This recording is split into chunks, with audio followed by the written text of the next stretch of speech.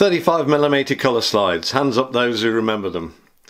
This short video is about digitising those slides so we can get them on our computers, enhance them, get the memories back, get some nice prints done off them, bringing back our history. Also, we'll have a discussion about uh, possibly some damage to those slides, having a look how they've weathered over the years. I think we've got to be careful, get them digitised before you lose them. They're not going to last forever. 35mm slides. And had them processed, they used to come in a box like this. It's probably 20 in this box. 10 there. 10 here. Used to look at them through a slide projector. The other way is hold them up to the light selecting the good ones to digitize that's well worth doing because the good ones in there we can make put them on our computers and we can make them into the good images of today. So we've got our old 35mm slide. We need to send it off somewhere to get it high res scanned. I'm going to recommend to you somebody here. I don't think Jason at Update Photo would mind me just pointing you in his direction. I'm sure there's other people do it as well, but Jason has done mine for me. So we send off our slides to update photo. Get them high res scanned. Only costs about 60p each. Well worth doing. Comes back to you. Oh, I like mine on a nice DVD like that. Label it up and then we're ready to get these. I think I've got 16 on here. Really looking forward to seeing them. Get them on the computer and we can have a look at them. Let's just click this CD on the drive and see what we've got. Click it on there make sure that's in nicely. Press your drive in. Fire up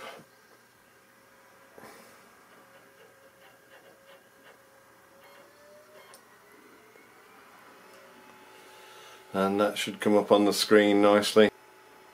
As all our images so we're now going to copy those onto our computer. I like to copy and paste them into my folder so there's all the images. So we'll select all control A and we'll copy them control C. And we'll find our folder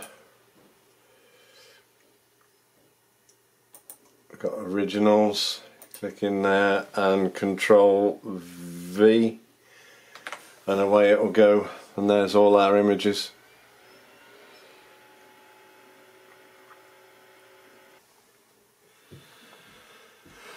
So there we are there's all our images. I mean I've just renamed them. Uh, I've put Orig on the end so that I know they're the originals because we are going to, we've got them on our computer now, so we can't wait to get enhancing them and having a look at them, that sort of thing. So let's have a go at uh, that one slide that we were looking at. I'm so excited about this. That's our image there, 16. I've numbered it 16 Orig to show the original. So let's have a look. From that little slide, we've had it high res scanned, and there, that's on screen. Look at that. There's some tidying up to do. First thing I want to check out here is it the sky. That looks like the emulsion's been cracking. So let's have a look on the. Blow it up a bit and look at that. I didn't know that, but the emulsion on these old slides, it's it's cracking. See that mosaic pattern on there. Uh, We'll have a look at that. I mean, it's still a lovely photo, but there's a warning to us all. Uh, get your old slides scanned high res, get them on your computer, because they're not going to last forever.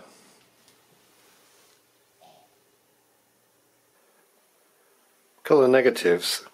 These are scanned as well. These will come up good. These will appear in a slideshow I'm doing shortly. Let's have a just a quick look at one of those ones that we've got from a negative. That won't, I don't think that'll have any damage on it. This one's from a negative. Let's open that. that. And look at that lovely blue sky there. And if we enlarge that one, that's pretty clear. There's no damage to that negative. Again, a bit of sharpness we can work on in Photoshop and but I haven't seen these images for years. It's just so nice to see them again. Maybe able to publish them. Brings back the atmosphere. Superb. I'll just leave you with um, the finished scans of two of the slides that we've been talking about.